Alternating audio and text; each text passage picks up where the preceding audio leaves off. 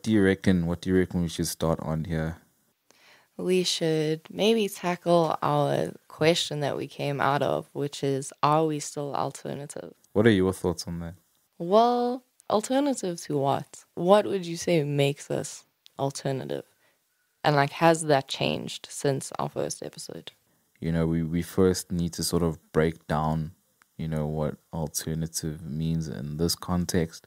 And it would basically just be like a synonym for, you know, different. And as Meagan said, what are we different to? You know, just looking at the initial plan in terms of getting artists, you know, the local artists at the Winston and artists that weren't being playlisted on radio, that would be the first point in that it's it's alternative or different to what radio is doing. And then also in that they're not really featuring the, the, the artists that are still sort of on the come up. And uh, also in terms of approach as well, where a lot of the mainstream sort of media outlets generally go for a more controversial approach, which in turn, you know, then gets, you know, the, the high numbers and all that because people like controversy.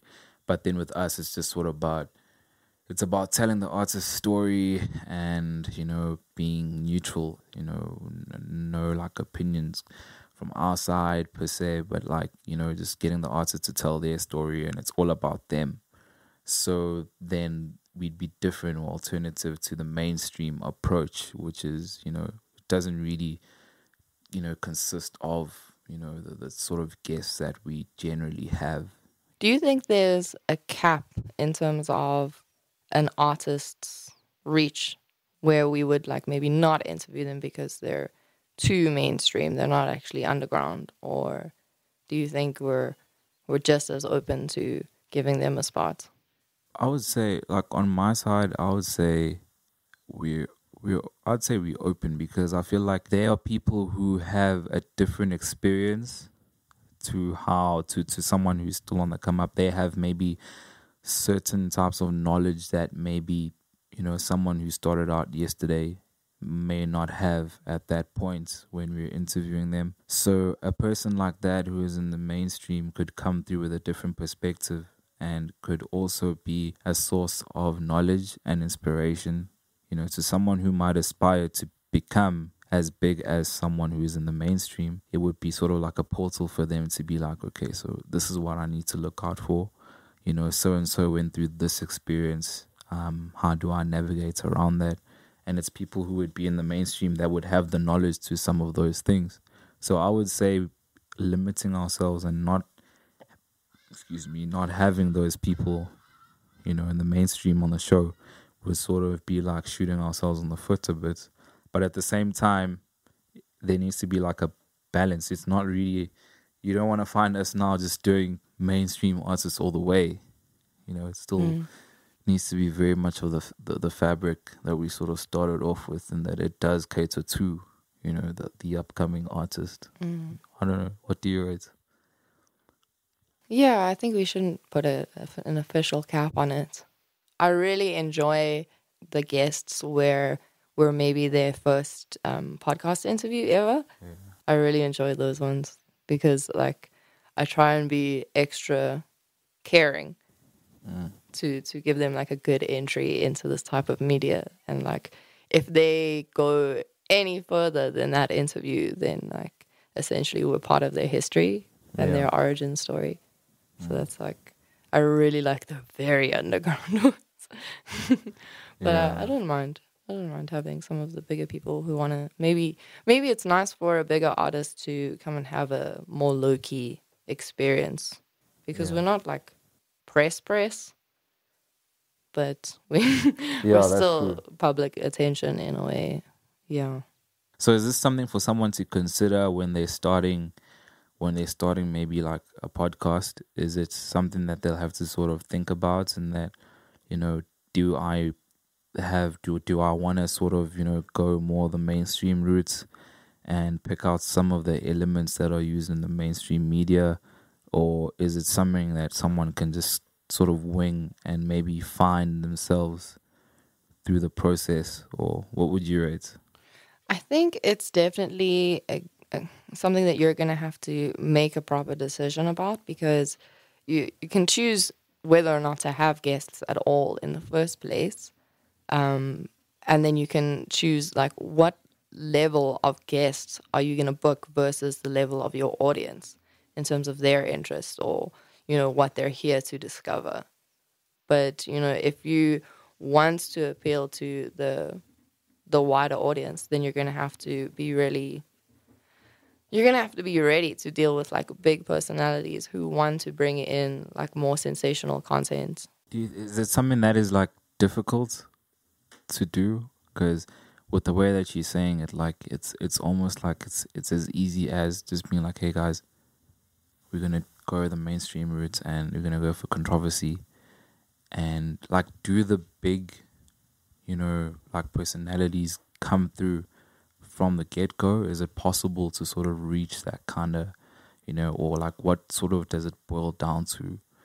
You know, like if if you had to look at your experience and stuff is it something where you can just wake up today and be like, hey guys, so this is what we're going to be doing? Controversy, controversy, controversy, big personalities and stuff. Or does it have to be sort of built over time type thing? I think it depends on what type of initial network you have access to. Yeah. Because if you are um, using podcasting as your entrance into the media, then you can't really rely on as wide of a social network to like pull from. Whereas if you've been maybe working in another area of the industry and then you transfer over to podcasting, you already have those relationships. Mm. And like if you've been doing that for a long time, then maybe those artists um, that you interviewed when they were very like fresh, maybe they've grown and they've gotten like bigger since. So you can call them back when when they're at like the upper echelon. you know?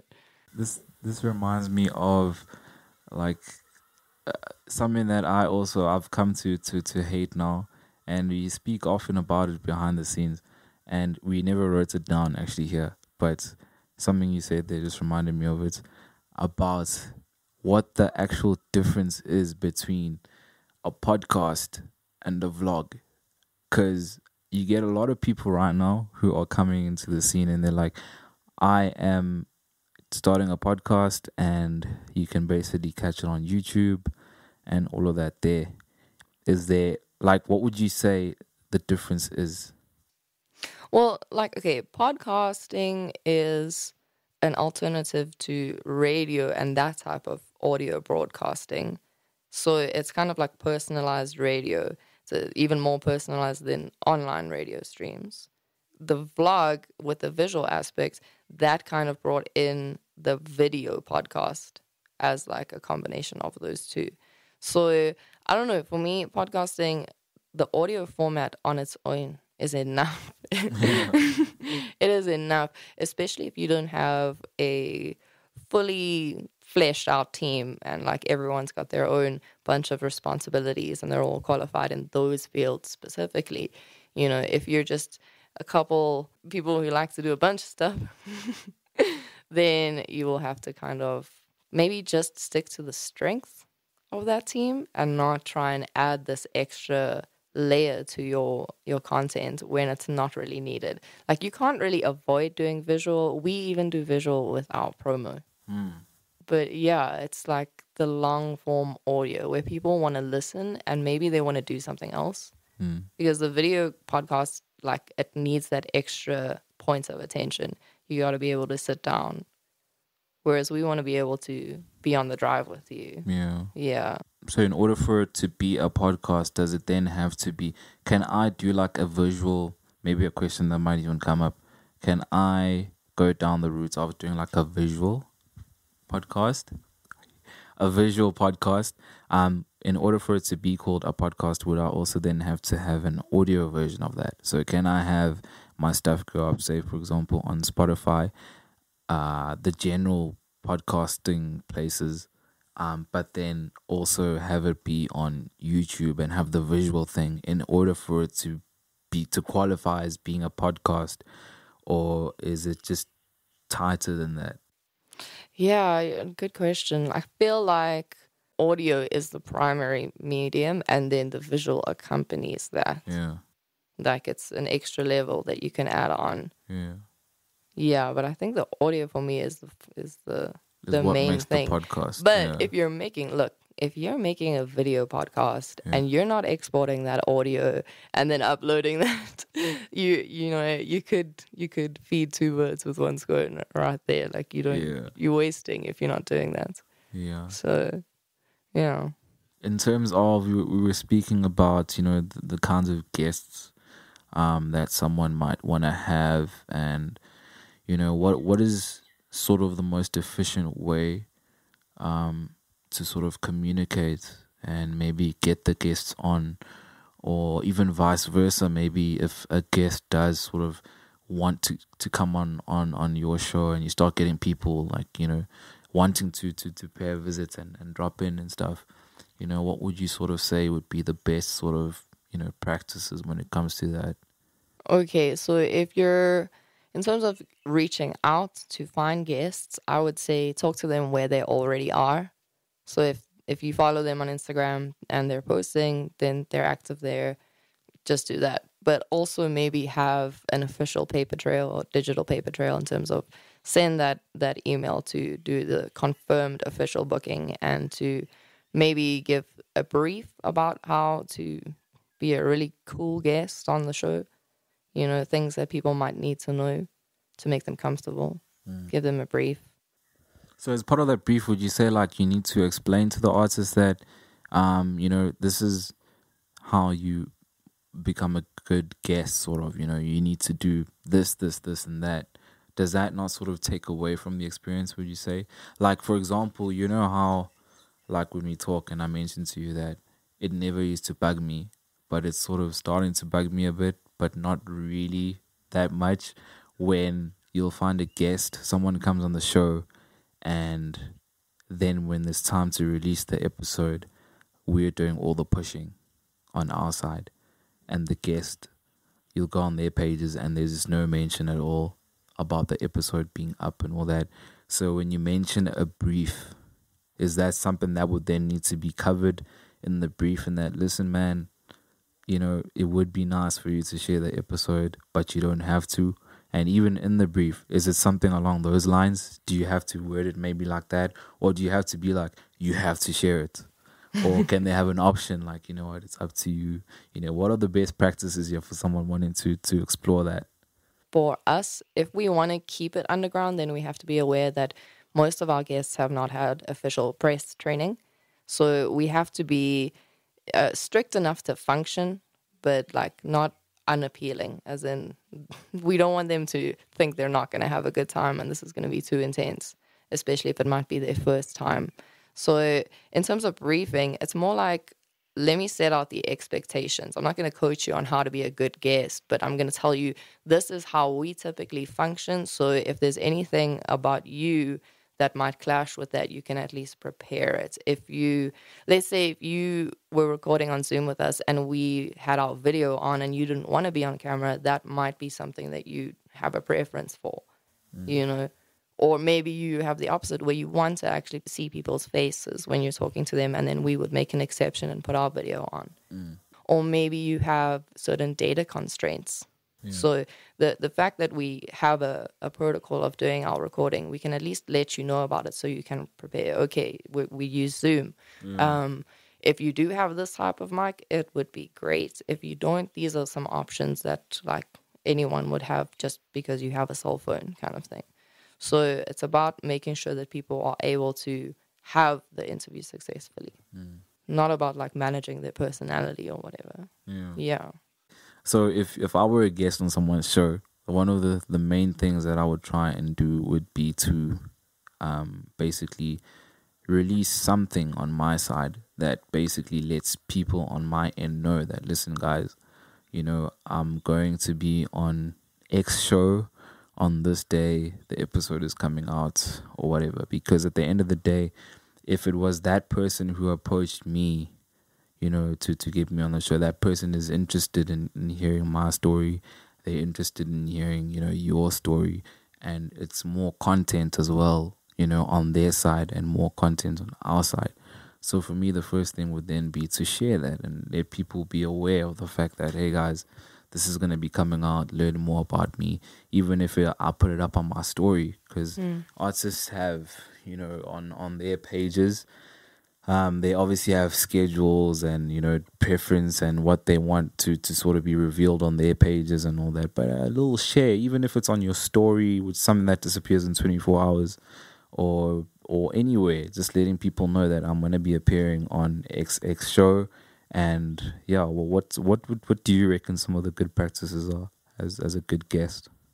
Mm, like even if you just share, it, like we make promo content that you can share, so that you don't have to come up with your own thing. If you know, and like you say, there are temporary shares, like stories, so you don't have to fit it in if you've got a really curated feed, you know. And like I don't know, if if you don't share it, it's kind of like, did you not have fun? Yeah, I had a nice time. Like I would listen to this. So, you know, I don't maybe some people don't want to like listen to their own shit, you know? Or maybe they're trying to reach our listener base. They're looking outward. yeah. I'm trying to It's very interesting because there's there's different opinions to this. Like with I had a, a similar conversation with Andile, and he was saying, um, he views it he views it as a sign of disrespect because um, his justification for that was it to him it comes across as the artist not taking a, a, a- that particular brand that they're on not taking them serious enough or not thinking or thinking to themselves that this brand isn't big enough for me to want to be seen uh, as being associated with them. Like, I'll make an example. If someone, if we take artist A and he had to make an appearance on a podcast that started out, say, yesterday, a podcast on about 100 streams or something like that, and they were a guest on that show. And then artist A then goes onto a bigger platform, maybe goes on national radio and has an interview on there, you know, there's more of a chance that you'll see them mentioning that, hey guys, catch my interview on X radio station. Uh, I'm going to be talking about my music on there. There's more chance of that person promoting the bigger platform than there is them promoting the smaller platform that came out. I don't know if it has to do with clout, maybe, you know, having that association with the bigger brand as opposed to having that association with the smaller brand. I don't know what it could be. Do you think that's like a possibility if we're looking at it from that front? must be nice if you have so much going on that you you can't share this one podcast interview. Do you feel like do do you, do you echo the same sort of thoughts as as him though, in that it's sort of like a a disrespectful thing. Like you don't really see us in that way, so you, or maybe there's like a bit of shame in there. Like I'm yeah, ashamed if to I take it that. personally, then I'll be like, "Are you embarrassed of your interview? Like, did we not make you look like you?" Yeah, Maybe they have a different relationship with social media than we do. You know, that's this is why I say like we can't fully demand it from people, yeah, but it is good practice. yeah. Like it, it is one of the ways you can build a relationship. And the thing is like we we could refer you to someone else because if you like make a really good impression on us in terms of the professionalism yeah, when you're communicating, if you're you know, if you're on time and stuff like that, if you if you show up, then we can say, Hey, new podcast, have you had these people on yet? Yeah. Like you really should. We had an amazing ex- experience. Mm. So that's the thing. Your your first job is, you know, always a play for the next job. Mm. Yeah. Yeah, yeah. So, so I guess the conclusion in, uh, when it comes to that then would be, um, from the host perspective, don't force your guests to do anything. Uh, as Meek said, just sort of a rundown how you generally, you know, operate and how you generally do your things, and then I guess the rest would then be up to them, you know, in terms of what they can do or what they they aren't able to do and all that. I would also say that if you're gonna book um, an interview, Yeah. do some research. Like look at some of their previous episodes. Number one, to know if you should do this interview because maybe your audience and the podcast's audience don't match up, and you're actually you're trying to get a certain type of person. Like you're trying to locate your niche, Yeah. and this is how you signal to them that they, you know, belong. So if you are a certain type of person and you're looking for a certain type of listener, then research the podcast's audience because you might say stuff in that interview that really just doesn't hit home because no one's listening for that stuff. I'm not saying you have to switch up who you are, but there are different facets of you that you can explore as an artist depending on what type of podcast you go on. Research what the people are going to try and sort of get from you to know how to play to your own strengths in that experience. And we actually have really good examples of that uh, coming from both sides, actually, means it's good that you said that because even as a host, you know, it's something that I learned from you as well is that it's really important to to at least have some kind of research on your guest as well. And it's something that was we have prime examples on things like that because um, remember when we had Kaylee Kaylee Golding? Um, when she came in, she was like, you know, it's it's it's it's essential for you to learn and and get a bit of background, you know, when it comes to the artists that you're going to be chatting to, and then um, also on the point that you were on about the the you now being a guest and going on a particular show and doing research and stuff, um, you'll have an example where uh, someone may be coming on the show and maybe talking about their ability to pull women or something like that. And it's sort of like it's out of place if you compare it to everything else that's happened in the past uh, these are just things that you, you're able to even when you're listening to sludge you're able to sort of pick up on some of the points that are coming up. And i think it's you know it, it serves it's it's something that's really cool to sort of ref- reflect on and sort of learn from as well you know through people actually doing certain things. Um you know through us doing certain things as the hosts and maybe a guest doing something and using all of that as you know things that you can learn from so yeah I, i'd echo what what Meeks is saying about learning about the platform that you that you're going on and all that and And be kind to your editors. yeah Learn as as much mic technique as you need to to just be a little bit considerate towards the people who are going to have to sift through your vocals. and noise in the background Yes. yeah We know we can't always have perfect circumstances, but some effort would be so nice. Yeah, and and being on time as well. You know, if seven o'clock must be seven o'clock. I know that I messed this one up when you were doing the visual jitsu episode, but you know, you you like time. Time needs to be. You know, I mean, with with us though, we we we're like. I'm not gonna say we're willing to, but we've had moments where, say, for example, we had set up at seven o'clock, and then maybe you know some technical difficulties on the artist's side or maybe on our side and then we leave a bit of room for that kind of stuff. I remember one of the episodes we waited for a very long time and then we I think the artist never rocked up or something. Mm. But then it's also just expecting and, and just knowing that that kind of stuff can happen as well. Like not everything will turn out the way that you'd planned. And it's just a matter of just pushing through either way it can't be like a hindrance or a point where or something that sort of discourages you it's gonna be part of the process you can't avoid it so It's also good to check in with each other on the day of the interview, whether it's host or guest. Like, just check in with each other to make sure that you both remember and you're both ready and nothing has happened since you've made the booking. Like, especially if you have uh, quite a lot of time between your booking and your recording and your release.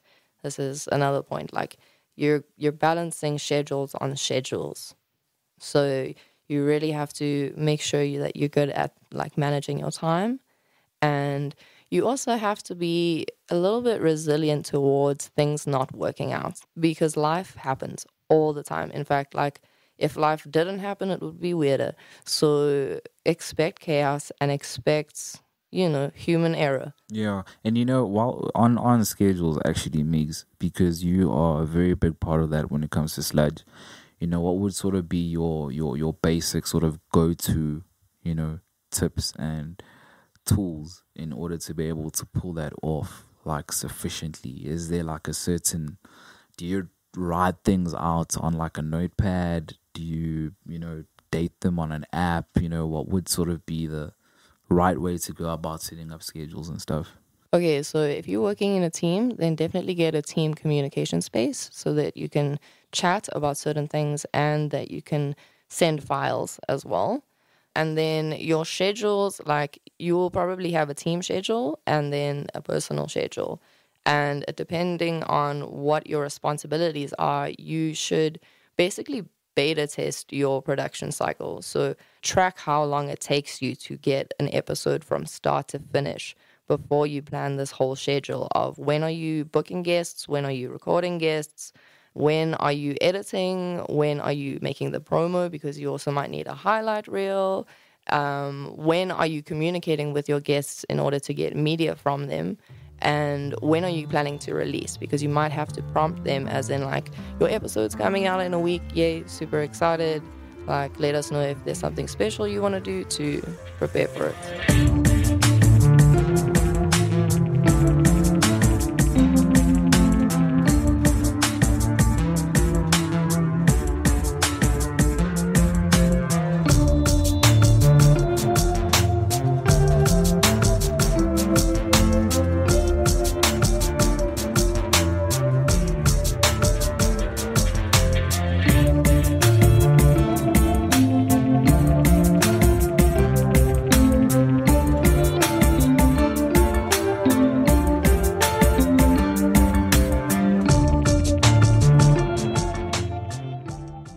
would you do differently if you had to start your podcast again?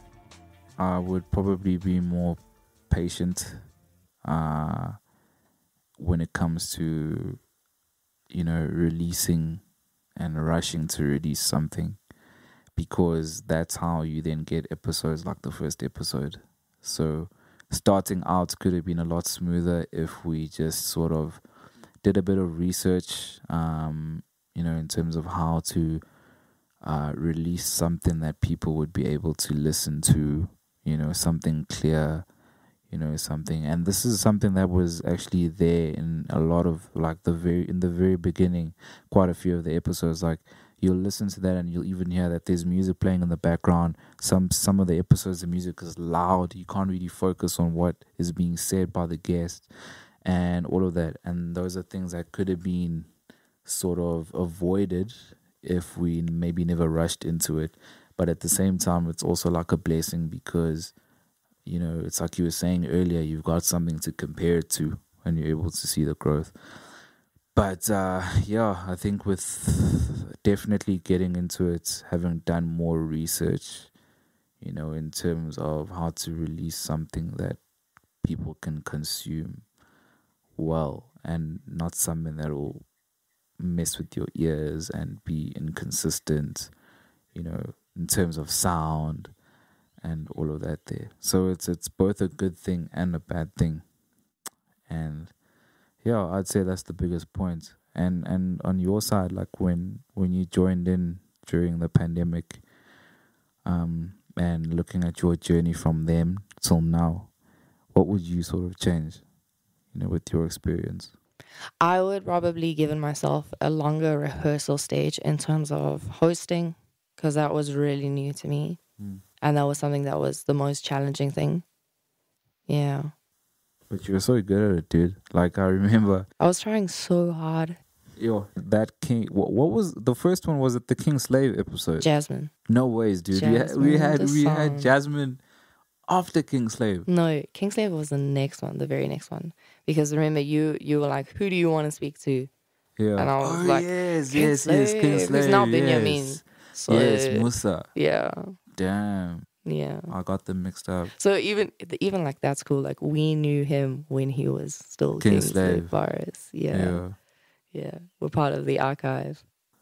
Yo, it's incredible. It's mm. incredible. But yo, I, I I wouldn't say like obviously it's it's what you you would have you know looking back now something that you would have preferred to have done, but just witnessing the growth and having that as a starting point, it's incredible because to anyone who even listens, like I'm pretty sure they'll listen to the Jasmine episode and they wouldn't be able to tell that it was your first time. I certainly wouldn't be able to tell because you were so comfortable and all that. But then you just keep you just keep getting stronger and stronger and stronger and stronger with each episode and yeah, it's incredible, dude. Oh, thank you. Yeah. So, and I think even with what you were saying earlier about how, you know, you speak as you go, things like you know, if if if you're wanting to, you if you have a way as someone maybe who's starting out a new thing and you got a certain way of doing things, definitely don't be afraid to sort of switch it up.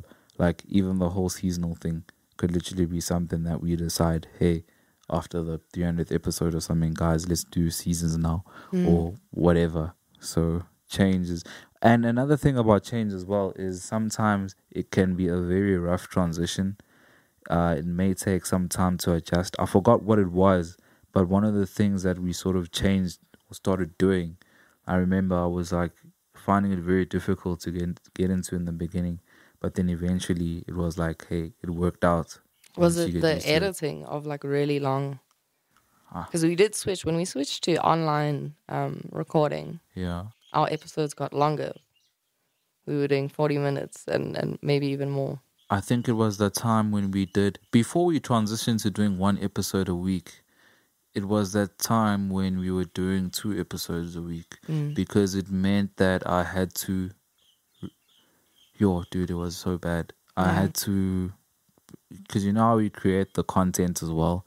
So it would have been the episode edit, uh, and then creating the promo content that's gonna go for the three days. Because I think we would have we released episodes when on the sun on the was it the Sunday, and then Monday, Tuesday, Wednesday, it was just content, and then Friday would be the next day when it was just a lot though Yeah. because it was two episodes and there's just no, it's it almost seemed like every single day there had to be something. Whereas with now, it's like there's enough room to actually chill hmm. in You need to make content in advance. yes. This is the lesson we have learned. Like, do not make and release on the go. Well, preference.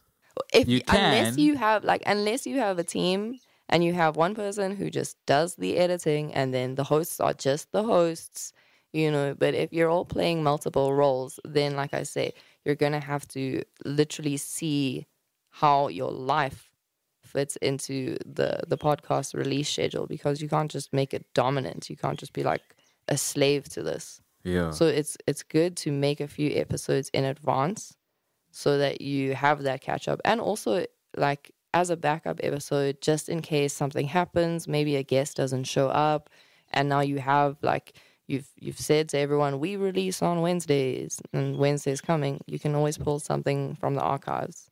Hmm. So have a backup and like maybe create a few episodes in advance.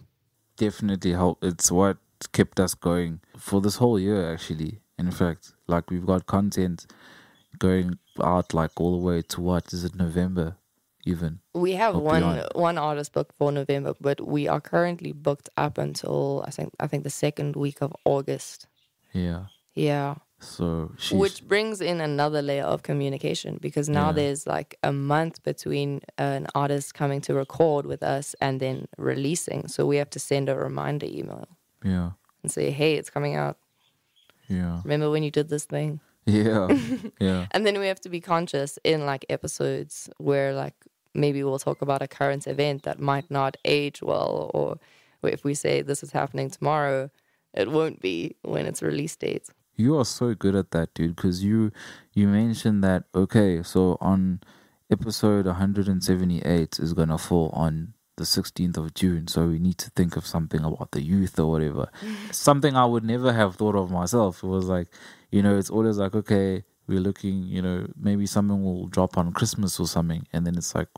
It wouldn't register in my mind that we need to have something Christmas themed, but then you're able to identify that and be like, ah, no, this day is going to be Christmas. So I think it does help to be uh, to to have someone in the team who's super vigilant and super like who can actually spot the stuff coming because it just otherwise it doesn't make sense. You know, if you speak of something and it's sort of not relative to that date or something, it wouldn't make sense. So yeah, but at the same time, I feel like we we aren't saying don't do episodes on the fly, but it does kind of help take the pressure off you because if you're gonna be doing everything on the fly and just relying on, you know, today I've set up a meeting with so and so and we're going to record and the episode needs to come out tomorrow and that person drops you, then you've got nothing for tomorrow. Mm.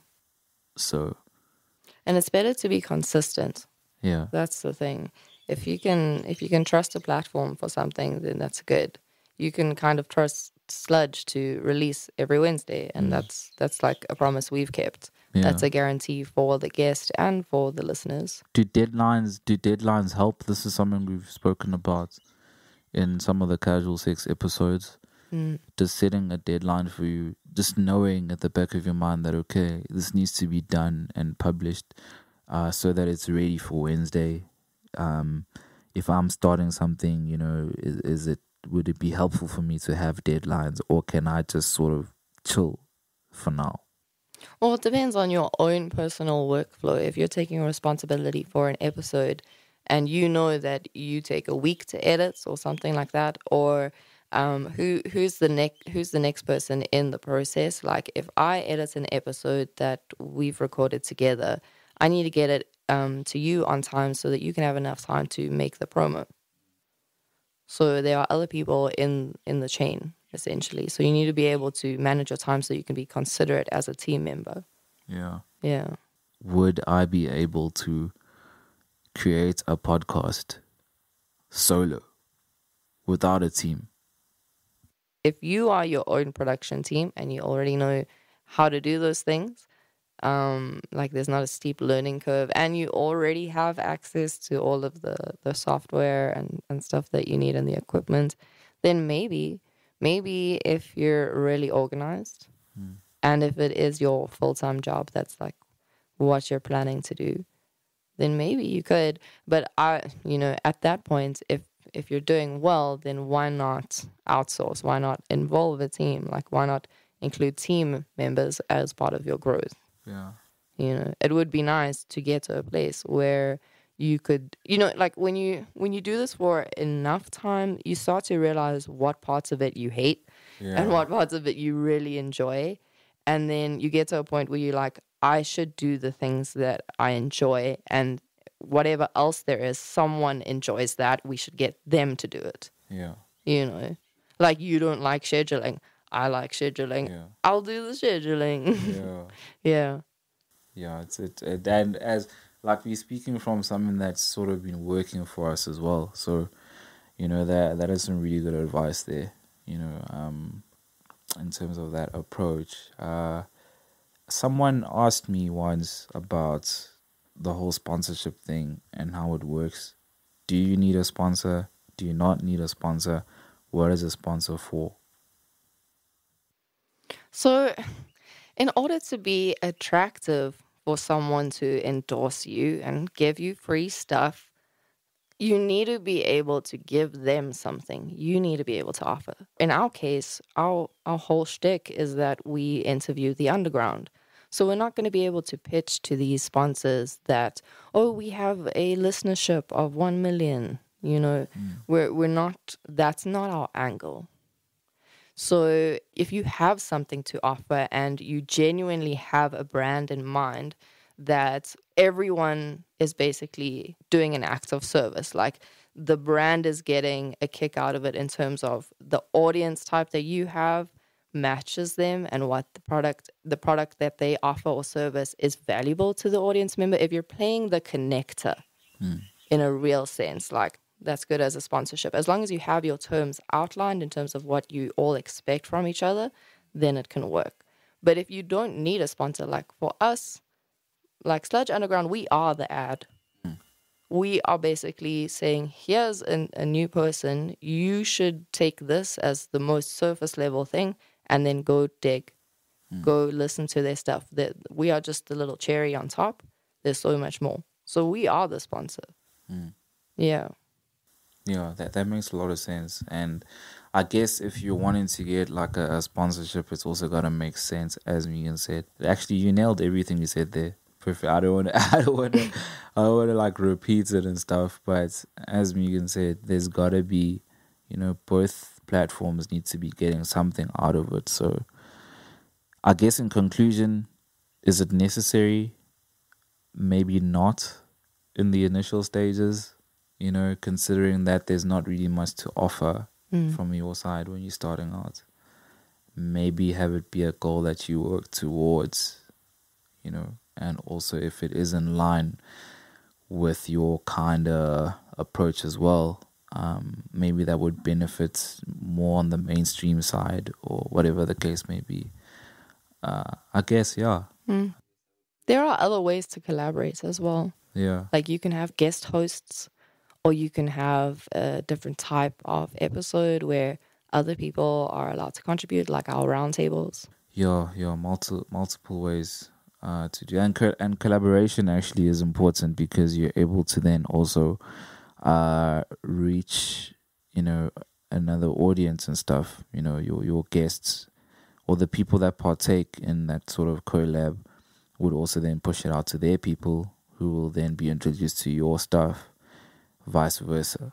So, yeah, never be afraid to to collaborate. And a lot of people are under this this assumption that oh, just because now I'm starting a podcast, it means I'm competing. Dude, this on one of the nights when we had uh uh at the firehouse uh for finish up Fridays, the last one that we had, uh there were these guys on Florida Road uh that were there.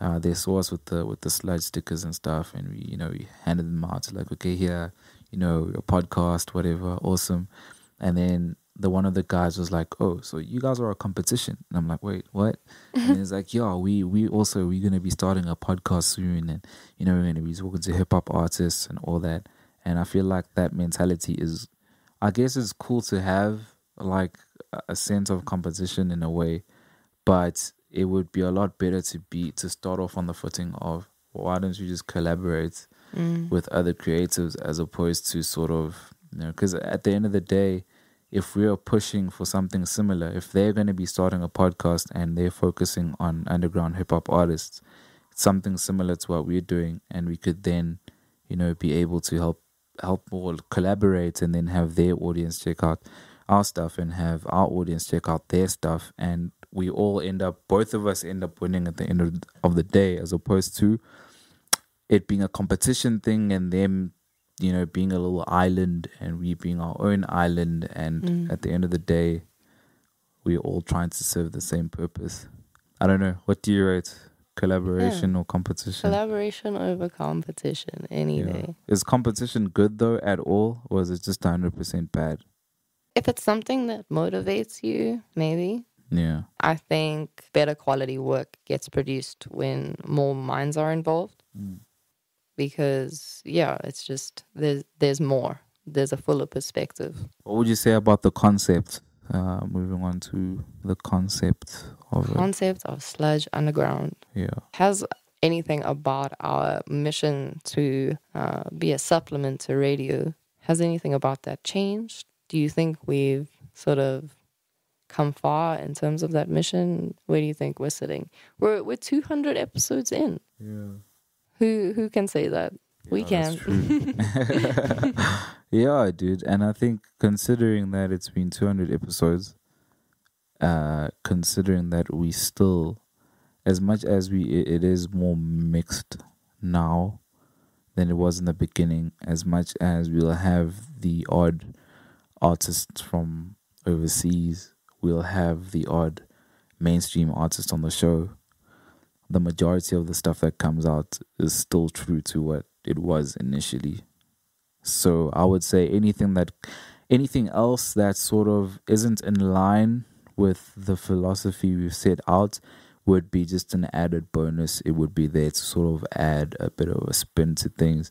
It would be there to serve as part of just additional content.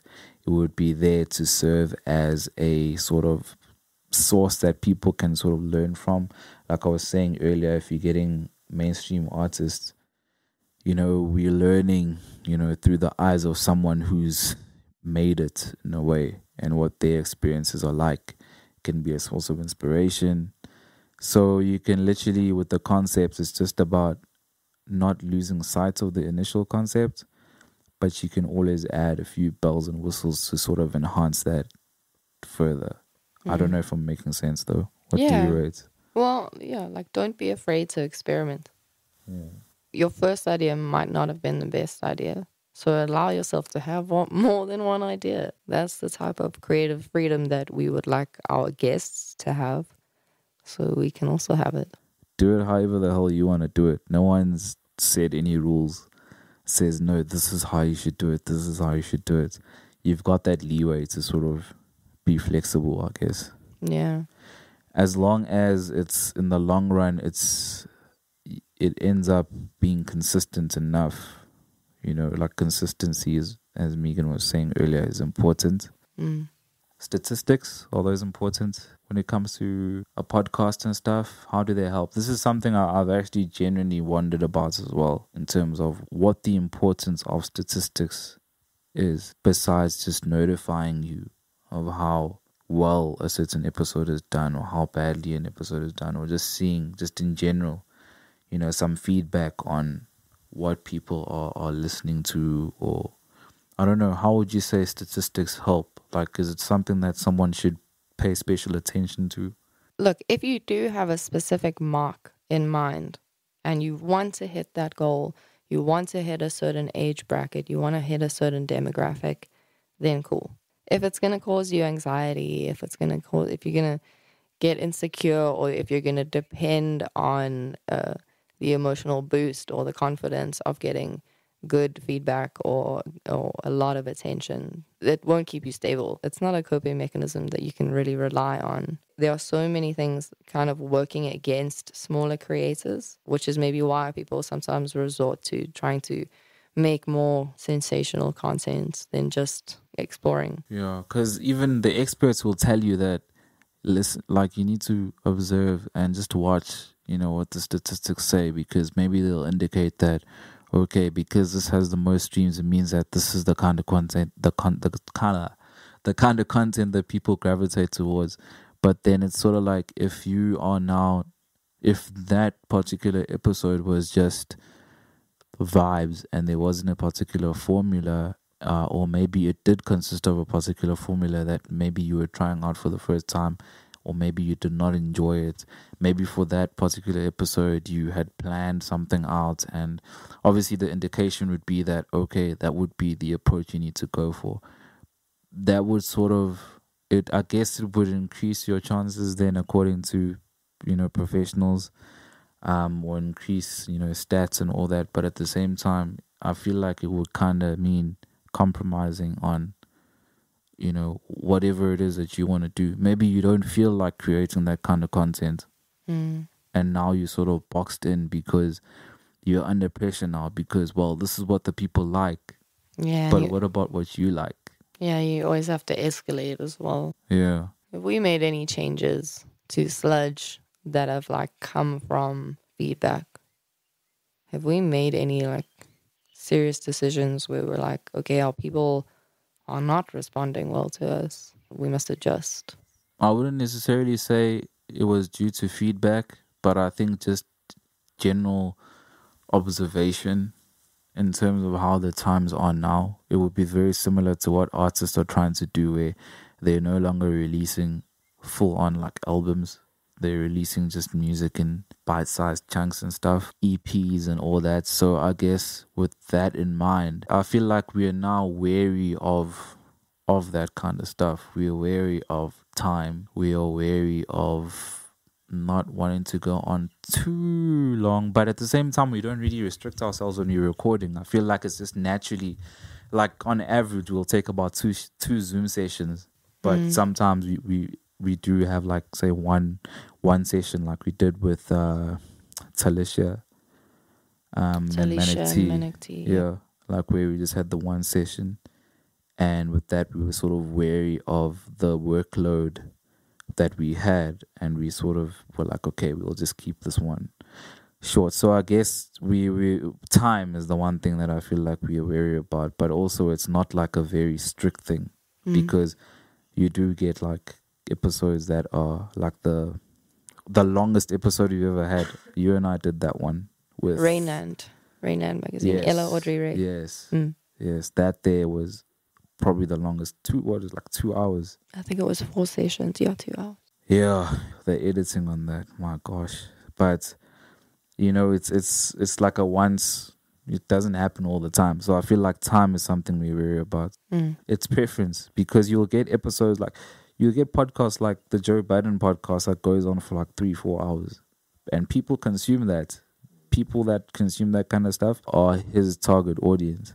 So I almost said don't go too long, but in actual fact, it's preference. If you've got people that will are willing to spend two hours on a podcast, those are the people who are the target audience. Mm. And anyone who isn't willing to do that is not the target audience. I think the one point that we've been very resistant on in terms of suggestions is doing visuals. That always comes up yeah. Mm. like a lot. And people are under this impression that if you do that, it will boost numbers and more people will get onto that. Is it just that you can also upload it to video platforms? I Or do they genuinely like want to see us talk? perhaps I think that is more of the people that have approached me. It feels like it's more interesting watching people talk as opposed to listening to them. Hmm.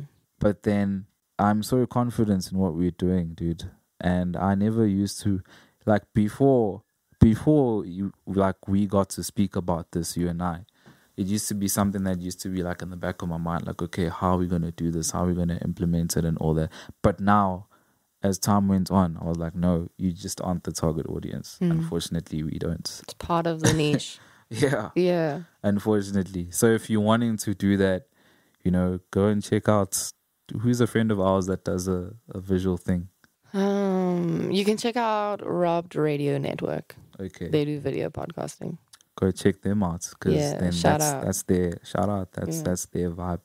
In Durban, we recently had oh Zama. She does visuals. She interviews. Yes. Connects connectors there to give you that kind of content. Mm. um, a work colleague of mine who recently started his uh, called Unfiltered with Oscar Msomi. He's a he's a colleague of mine. Uh, we work together at the court. He's got some some visuals. Uh, it's a podcast, and so there's very so if we aren't doing that, then clearly you know you're able to to find other platforms Mm. that that do that. So shout out to them. Mm. Yeah. I don't know. Are there any other points that you reckon we that we haven't touched on? Tell me, tell me about crediting. Yes. Yeah. How could you forget? dude? Let's talk about this. Yeah. So I I feel like um cre- crediting is a very it's a it, it falls part of uh, a similar sort of group uh, when it comes to being a good host and being a good guest and all that there. Uh, if you're the host try and you know credit anyone who's this is a, a conversation that I actually had with um, Oscar who does unfiltered in that it's really good to just sort of if someone designed your logo just credit them off the bat um, if someone you know was responsible for doing the sound credit them. If someone was responsible for shooting the video credit them. And crediting someone it isn't even a strategy you know? It's Mm. not even it's just common sense. It's sort of like equivalent to like a thank you. I acknowledge what you did and i appreciate it. And through that act then other people are able to then see that other person's work and they are also more inclined to then share whatever you've put up because well you've credited them And you never know what gig you're booking someone. yeah You know, exactly yeah If you edit an episode, then maybe that's part of an equivalent to a CV, building up Yeah. a CV or portfolio work that independent creatives rely on. yeah it's, it's it's very no matter no matter how small dude no Mm. matter how small i'd say what would you say from an artist's perspective, is it sort of like a similar thing Mm. to what we're doing? Mm. Yeah. Yeah. The more credit you give, the more people can actually know about your music. Because if you're crediting your producers, then they can go into that producer's profile and see what else they worked on. And maybe they'll find something that makes them like your stuff more because of their own personal reputation with the producer or with someone else on your team. Yeah, definitely, dude. And I even say like the smallest, even the smallest thing, like even a, a referral, dude. It's something you don't need to, you don't have to, but it just makes sense. So how eh, how do you get onto our podcast Like, what do you mean? as a guest if you're oh, looking? yeah, sorry. or if sorry, you'd like yeah. to be a guest host, how do Yeah. you get into contact with us? How do you ask the big ask? The general one would be emails are best. We try to be as accessible as possible. So if we ever get like a DM and all of that there, we try to to respond and basically thereafter, you know, just emails would be best. Um, and then obviously things like your EPK and all that do help, especially for like the content and stuff for us to read up on the kind of stuff that you do. And if it also consists of, you know, all your images, things that we'll be using for the episodes in terms of the content and what we're going to be talking about and everything we're going to be putting up on social media. Yeah. So just the basic, basic, you know, sort of entry thing would be email your EPK. You know, I don't know what else do you. Or do you just your links. But Yeah. it doesn't even have to be that formal. The more info you give to us, it, we're not using it to like vet you for quality and be like, oh no, they're not good enough. Yeah. We're using it to see what we can ask you about because we don't want you to regurgitate information that you already have in your bio. Yeah. you already have on all of your taglines. We know that already. Yeah. So we want to go to the next step in the conversation and we want you to elaborate on some of the things that you've said that you're about. Yeah. We want to connect a few dots in terms of your work. And the more you give us to bite into, the more nourishing it is. Definitely. And even from uh, a creator's perspective, uh, reaching out to artists, what I've found helps is obviously email would be ideal as well. I feel like that's a staple. So if you ever approach everyone, I guess you can do DMs, but I feel like some artists take emails more seriously. I don't know though. Maybe you have a preference for the host. Yeah. Like maybe you really want to be interviewed by Marcel. Yeah. and then you can you know you should probably request his part of the communication send him a dm or Yeah. you know Yes. if you have a Actually, preference like that Yeah. yeah. if you think i would enjoy your stuff more then you are welcome to send it to me Yeah. That that makes a lot of sense. just don't be weird what is weird? don't be weird in the dms bro What's an example of weird? i work there it's work time Don't approach you about anything else but work. yes basically. we have yeah. a task at hand Yo. yeah Heavy. Okay, yeah. So so even for for as a host, you want to get someone on, then yeah, obviously if if if you have a preference or whatever, then and you want to target that specific person, then obviously you know reach out to them. But uh, also even in your when you're inviting you know acts and you want to invite someone, I feel like email structure is important because Mm. it's like you know let the person know you know what they're getting themselves into.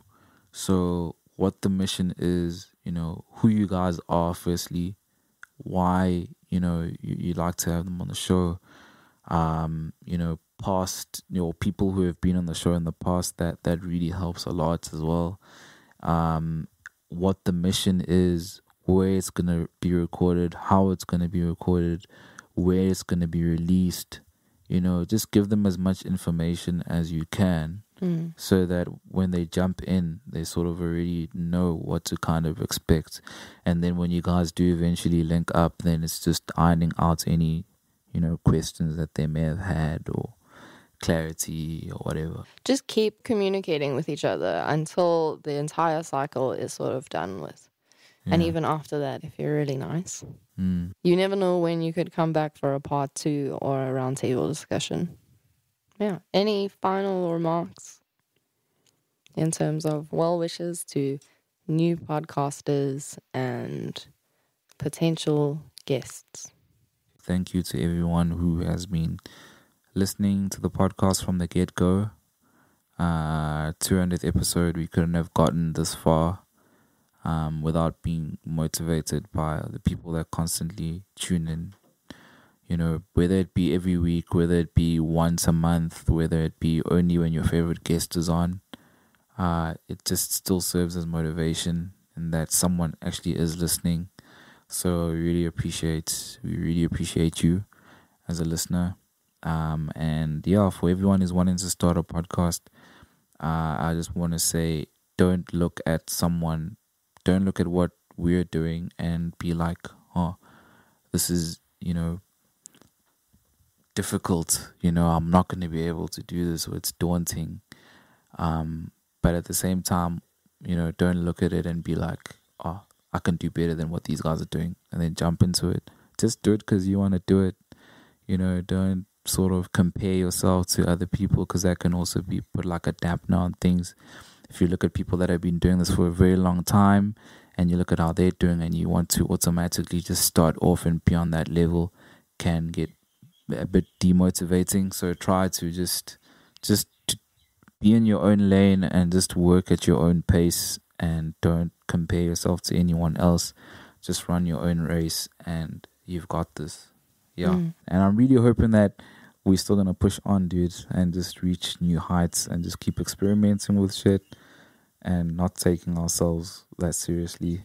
Because I feel like sometimes that you know once you start being like, oh yo, we started doing we no, just chill Mm. type thing. So yeah, that's Um, any new things that we are gonna be sort of trying out? We are having a small break, yeah, very very small break, but there will still be content flowing. yeah, Um. Yeah, we we're kind of we're kind of dabbling in events.